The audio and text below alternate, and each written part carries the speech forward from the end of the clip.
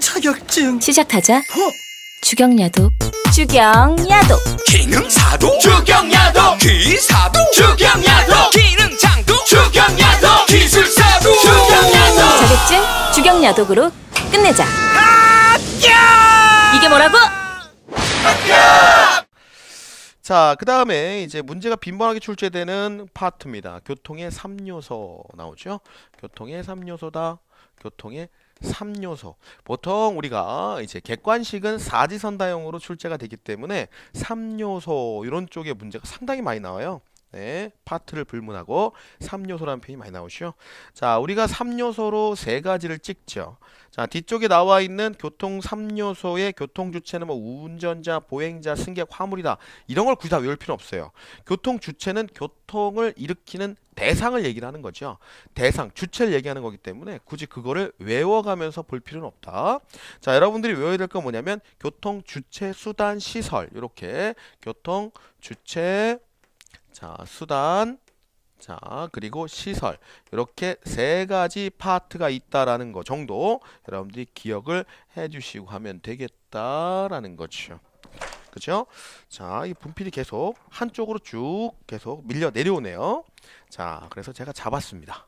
네, 죄송합니다. 자, 여튼간 주체, 교통주체, 교통수단, 교통시설 이 세 가지 표현을 여러분들이 암기를 해주시게 되면요. 자, 우리가 핵심 문제 4번.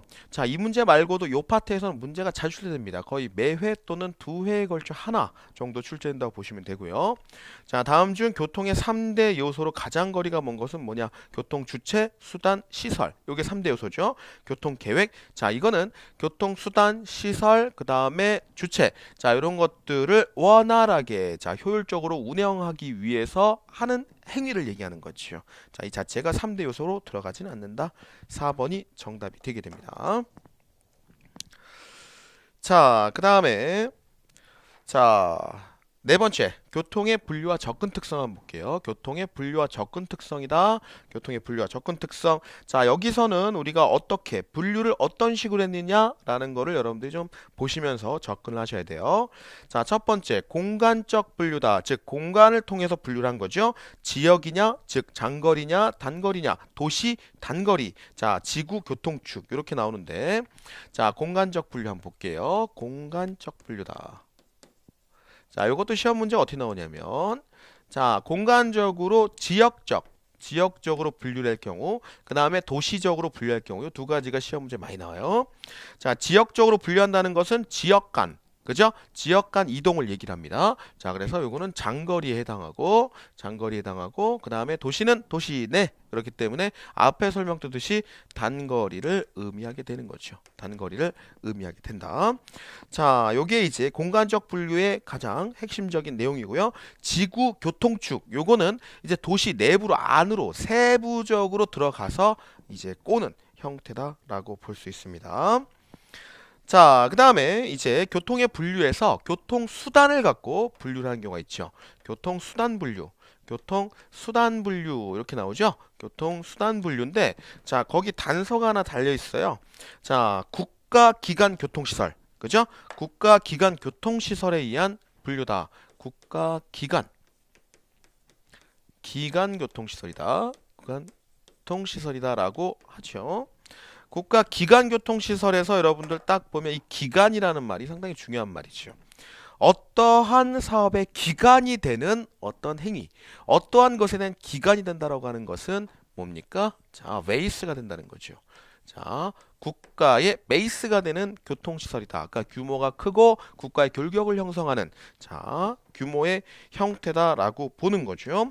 자, 그래서 거기 나와 있는 종류를 보아하니 그런 것을 반영해서 고속국도 및 일반국도 가장 큰 장거리죠.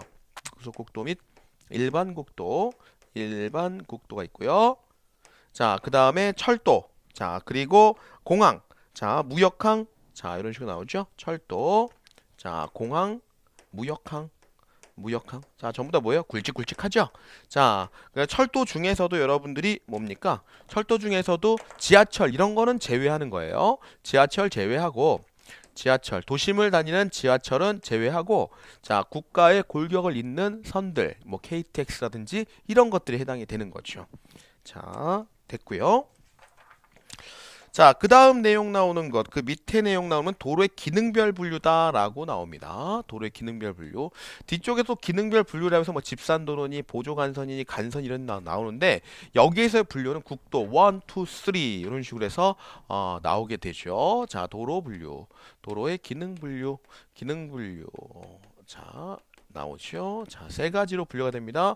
국도 1, 자, 국도 2, 자, 그 다음에 국도 3, 자, 국도 3 이렇게 나오게 되죠. 자, 국도 1 같은 경우는 장거리 통행 가장 규모가 크다라는 거예요. 자, 위로 올라갈수록 뭐다? 규모가 큰 겁니다. 규모가 커진다. 규모가 큰 것이다 라고 보고요. 자, 국도 1 같은 경우는 장거리 통행에 아, 익숙한 거죠. 국도 장거리 통행, 장거리 통행에 익숙한 것이고요. 장거리 통행에 익숙한 것이고 자 그리고 이제 국도 2는 조금 애매한 위치에 들어가 있는 놈입니다. 자 국도 1보다는 작고 자 국도 3보다는 큰 예, 국도 3보다는 큰 형태 이 정도로 보시면 되고요. 자 그 다음에 국도 3는 뭐다? 국도 3는 자 국도 1과 국도 2를 뭐예요? 자 보조하는 역할 보조하는 역할이다. 보조하는 역할 이렇게 여러분들이 그대로 기억을 해 두시면 되겠다라는 거죠. 그래서 교재에는 연계 및 보완 이렇게 쓰여 있죠. 요 보조라는 말을 연계 및 보완이다. 연계 및 보완 이렇게 써져 있습니다. 보완 이렇게 써져 있죠. 자, 그래서 여러분들 뭐다? 요게 제일 중요해요. 시험 문제 제일 많이 나온 게 국도 3가 연계 및 보완, 국도 1과 2를 연계 및 보완한다. 요 내용으로 시험 문제 많이 출제되고 있죠. 자, 그 다음 페이지를 보면 자, 그 다음을 보면 자, 교통수단에 따른 접근성, 접근 특성 이렇게 나오는데 앞에서 얘기했던 제가 교통 개념 처음 나올 때 이 접근성, 이동성에 대한 내용을 말씀을 드렸을 겁니다. 자, 그래서 교통수단에 따른 접근성 특성을 볼게요. 접근성, 특성 접근성. 자, 접근성이라고 하는 것은 그 목적지까지 얼마큼 가까이까지 붙여줄 수 있느냐. 라는 거죠. 자, 그래서 가장 접근성이 큰 건 당연히 자가용이겠죠. 집 앞까지 딱 가니까. 자, 그리고 그 다음 큰 거 고속버스, 철도, 비행기. 그죠? 고속버스, 철도, 비행기. 철도, 어, 비행기. 즉, 무슨 얘기예요, 이게? 결국은 가까이 우리 집까지 가장 가까이까지 접근할 수 있는 게 뭐냐? 접근성. 자 그래서 요거를 이제 반대로 치면 자 여기는 접근성 순위는 자가용이 제일 크지만 만약 이걸 이동성으로 바꿨다. 즉 장거리 운행 이동성으로 바꾸게 되면 요 순서가 어떻게 돼요? 반대가 되는 거예요. 비행기가 가장 이동성이 크고 그 다음에 철도 자 고속버스 자가용 이런 식으로 다시 순서가 재배열되게 되는 거죠. 자 됐고요. 그 정도로 한번 보시면 되겠습니다 자 됐습니다. 그 정도로 보면 돼요. 밑에 내용은 한번 읽어보시면 돼요. 네. 자 지금 핵심적인 내용으로 여러분들 문제 풀 수 있게 제가 자 개념 정리를 하고 있기 때문에 자 제가 개념 정리하지 않은 건 한번 그냥 소설책 읽듯이 읽어보시면 됩니다. 네. 자, 그 다음에 이제 섹션 두 번째네요. 교통계획의 개념 및 분류, 교통계획의 개념 및 분류 부분이 나오게 됩니다. 자, 이 부분은 이제 뭐 장기 교통계획이냐, 단기 교통계획이냐, 자, 이런 내용들이 어, 상당히 중요하게 다뤄지게 되지요. 자, 판서를 좀 지우고 여러분들하고 한번 다시 진행을 해보도록 하죠. 자, 우리가 그 지금 보면 단기냐 장기냐 이 내용을 갖고 문제가 많이 출제돼요.